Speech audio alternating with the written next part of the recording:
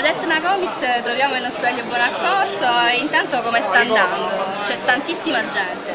Sta andando veramente molto bene, è una delle fiere più grandi d'Italia, d'altronde comunque Sì, ormai è un appuntamento importante per, per tutti gli appassionati in Italia.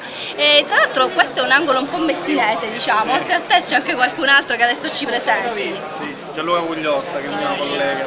Gianluca in realtà sta, sta facendo quello che non ti sto facendo fare adesso, cioè oggi tu sarai qui a, a- a- ad incontrare i Sì, tuoi fan e anche a insomma Sì, ovviamente questa area qua si chiama Artist Art, no? che è una cosa che è stata importata da- da- dagli Stati Uniti. Ovviamente si vendono stampe, disegni originali, sono su commissione. E insomma dove gli- diciamo, i lettori possono incontrare diciamo, i disegnatori. a che cosa stai lavorando? Ci puoi dare qualche Sì, anticipazione? allora sto facendo, dunque, sto finendo un libro per bambini, che è l'immigrazione spiegata ai bambini, che uscirà verso settembre. E poi sto lavorando su un reportage che ho fatto in Sinai, dove sono stato per 40 giorni.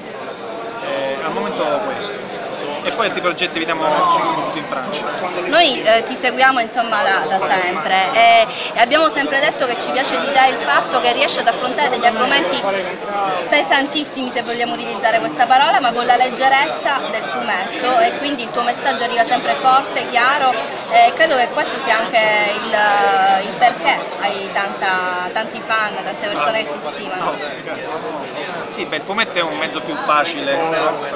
rispetto a quello che può essere un libro, cioè sono, sono un discorso di testo.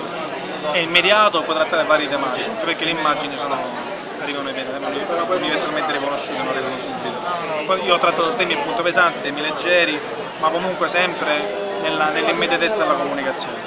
Ok, ciao Lelio! Buona fiera!